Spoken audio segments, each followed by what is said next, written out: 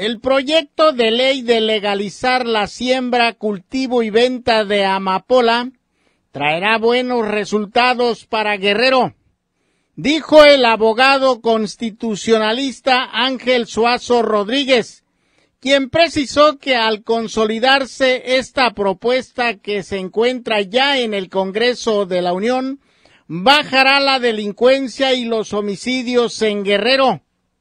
En Guerrero tenemos el beneficio que se produce más del 60% de la amapola de todo el país.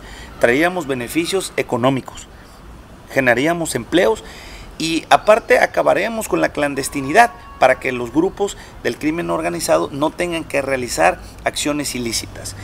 Reconoció que los tres niveles de gobierno no han podido contrarrestar este mal, que ha enlutado a muchos hogares en México y en especial en Guerrero.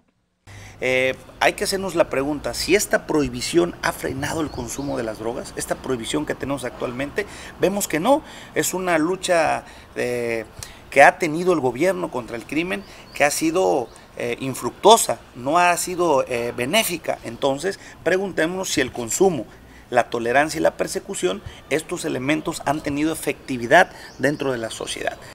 Ángel Suazo Rodríguez precisó que es una labor minuciosa ya que se tienen que reformar algunos artículos de la Constitución y esto se consolidará a través del tiempo, pero insistió que es benéfico para Guerrero. Aquí lo que se propone con esta reforma es cambiar los eh, eh, artículos del 194 de la Ley General de Salud, el Código Nacional de Procedimientos Penales y el Código Penal, porque obviamente el Código Penal actualmente lo tipifica como un delito la siembra de la amapola. Tendríamos que despenalizar esta, esta práctica para que pueda ser utilizado. El tema va que, que veo aquí, el problema que va a ser es la regulación estricta que va a tener este tipo de sustancias, quiénes la van a comer, quiénes la van a poder sembrar, quiénes la van a poder comercializar para, para los permisos quiénes sí estarían aptos para poder realizar estas acciones. También ahí tendremos un problema interno en cuanto ya aterricemos esta ley